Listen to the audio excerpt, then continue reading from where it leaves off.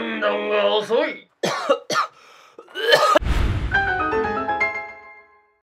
ウィシトンこんにちは。イカモズですということでゼロだけ YouTuber のイカモズくんです。無限増殖したいよね。はい今回はですねなんとゼルダの伝説ブレスオブザワイルドで発見されていたヤバすぎるバグ。孵化世界がねめちゃくちゃ簡単にできるようになったんですよ。知ってました？今まではねこの孵化世界まあ、無限増殖に欠かせない孵化世界というバグが連射意味をね5個必要だったんですけどなんとね今回の発見で2個でできるようになりました。しかもねやり方も前回の5個使うやり方よりかはすっごく簡単になってるんですよ。なのでね今回はその新しい孵化世界の作り方の紹介とその孵化世界を使ってどうやって武器とか盾とか弓矢そしてルピーを無限増殖していくのかっていうのを皆さんにお教えいたします。ということでねまあ無限増殖ってもうねもうバグの中でも相当ね便利なバグなんですけどもまあこれさえ知っておけばかなりね冒険を有利に進められるんじゃないかと。いうことでまあ誰にでも分かるようにね分かりやすくその難しいポイントを皆さんにお伝えしたいと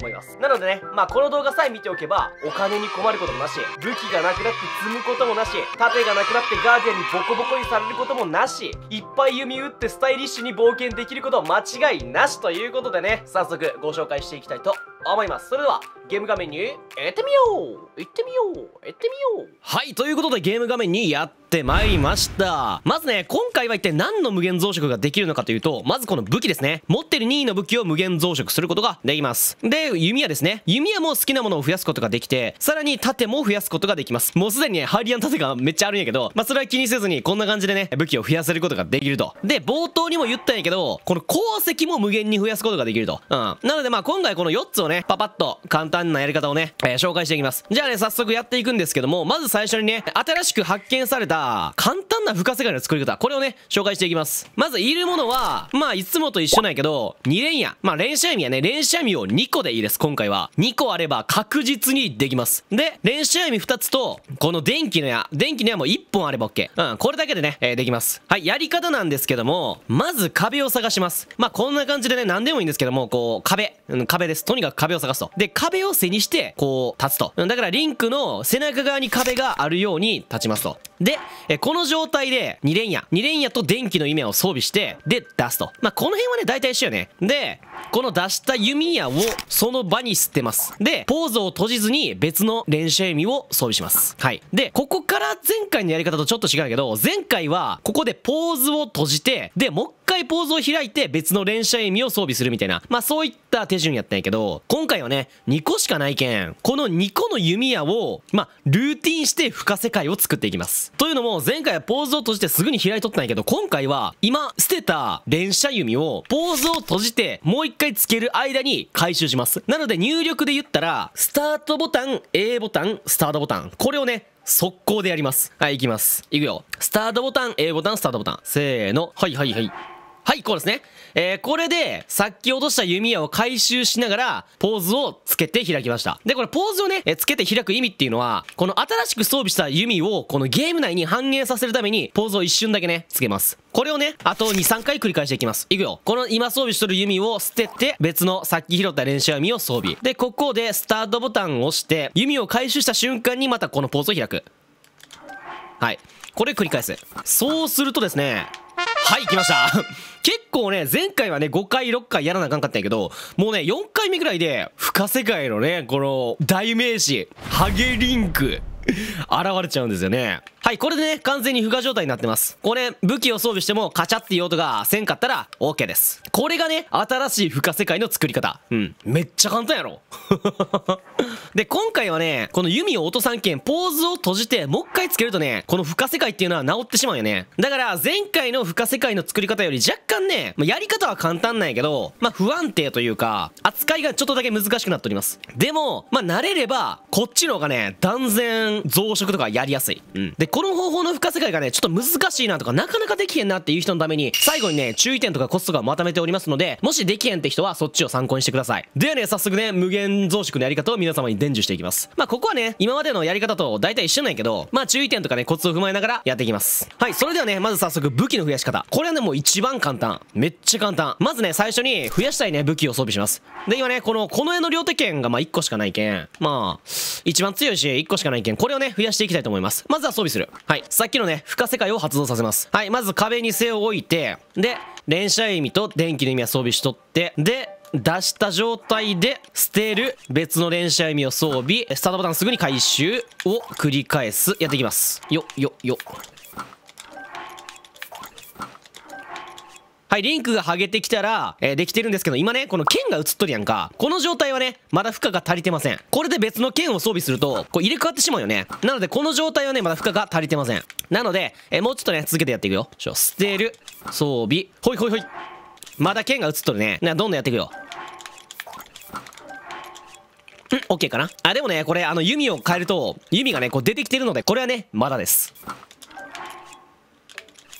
よし、オッケー。弓を変えても、このガチャンってならんなったら、武器画面に行って、別のね、適当な武器を装備します。はい。で、とりあえずね、横にあったこのリザルブメラン。これを装備しといて、何でもいいんですけどね。まあ別にガーディアンアクスでもいいし、何でもいいんやけど、とりあえず別の武器を装備します。で、この状態で、これ剣がね、まだあの、この絵の両手剣になってることをま確認して、この両手剣をぶん投げます。おらよ で、ぶん投げて、で、スタートボタンこれ見てみたらね、あるんですよ、これ。ねえ。まあこれ別に確認せんでもいいんやけど、ぶん投げて、取ると、なんとね、これ2本になりました。これね。はいはいはい。ここ。ここね。2本になりました。はい、これがね、武器の増殖方法。これね、別に何でも増やせます。うん。なのでね、えー、この武器がね、一番簡単に増やすことができます。はい、次。はい、次はね、盾の増やし方ですね。盾はね、ちょっとだけ難しくなるんやけど、まず準備するものが増えて、この雷電の体験がね、必要になってきます。で、雷電の体験は一体どこにあるかというと、タワジヌの祠、ドゥンバタの祠、そしてシ、ダゴズの祠の中にあるので、そこからね、取ってきてください。で、まあ別にね、この、雷電の体験じゃなくても、雷電の槍とかでもできるんやけど、ちょっとね、難しいので、まあ雷電の体験がおすすめです。はい、じゃあまずね、この盾を増やすために1個やらないかんのが、電源化っていうね、テクニックがあるんやけど、それをね、やっていきます。まあ通称通電とも言われるような、まあテクニックなんですけど、まずね、この、まあ電気系の武器、まあめっちゃね、やりやすいのはこの雷電の体験ですね。えーこれをこう振るとですね、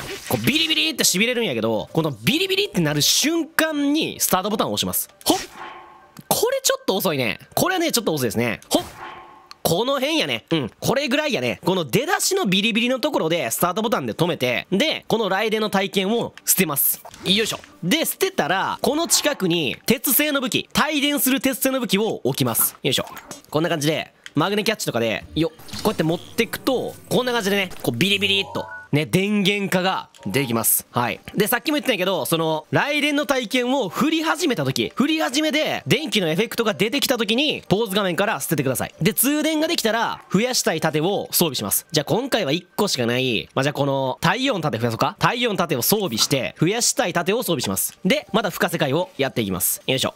弓を使って、よ、よ、おっと、できたね。今回早かったね。よし、この状態で、この増やしたい盾以外の盾を装備します。まあ、何でもいいけど。よいしょ。あの、装備した時にガチャンって音が鳴らずに、盾が表示されてなかったら OK です。まあ、この状態で盾を構えて、で、この電源化したとこに突っ込みます。はい、そうすると盾がね、吹っ飛ぶんですけども、はい、これ、まだ装備したままになっとんよね。で、えーこれを取ると、はい、無事ね、えー、この太陽の盾が増えましたと。これが盾の増やし方。めっちゃ簡単。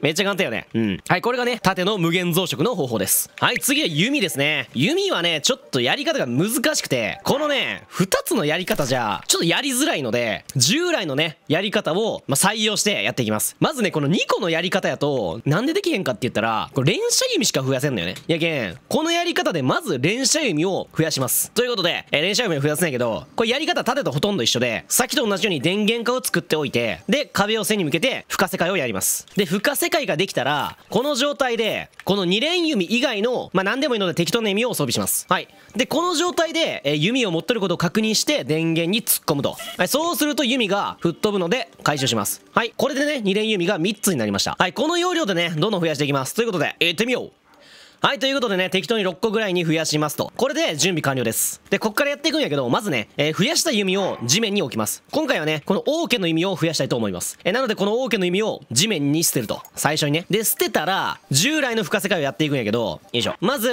連射弓を装備して、えー電気の弓を装備すると。で、ここまでは一緒。で、えその連射弓を捨てて別の練習弓を装備する。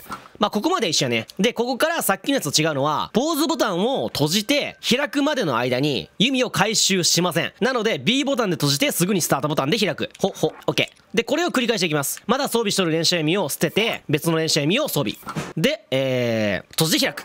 これを繰り返す。はい、そうするとですね、はい、リンクがまた励ますと。で、武器がね、切り替わらないことを確認して、今度はね、この弓矢を別の弓矢に変えるんじゃなくて、そのままね、装備したままにしておきます。はい。で、この状態で、この電源にまだ突っ込むと。よいしょ。で、突っ込んだら、最初に置いた増やした弓を持ちます。で、スタートボタン。で、またハゲリンクになってることを確認して、で、えー、別のね、弓矢を装備します。はい。で、その状態で弓を構えると、こんな感じでね、別のツバメの弓を装備しとんにもかかわらず、この王家の弓を持ってますと。で、この状態で、また電源に突っ込むと、王家の弓が吹っ飛んで、回収すると増えます。はい。これがね、え、弓矢の増やし方です。ちょっとね、複雑やけど、まあちょっと縦のやり方とはまた違うんやけど、これで無限増殖が可能になりました。はい、ということでね、最後はルピーの無限増殖なんやけど、はい、まずね、リバーサイド馬宿の近くにある和語型の祠に飛びます。はい、和語型の祠に着いたら、リバーサイド馬宿にね、行きますと。でね、言い忘れとったんやけど、必要なアイテムがあって、この絵シリーズの武器が必要になります。なのでね、ハイラル城とかに潜入して、このこの絵シリーズの武器を調達をね、してきてください。で、リバーサイド馬宿に来たら、ここね、この子、はい、パリッセちゃんがおることを確認します。もしおらんかったらね、あの、焚き火とかで朝にしたらおるけん。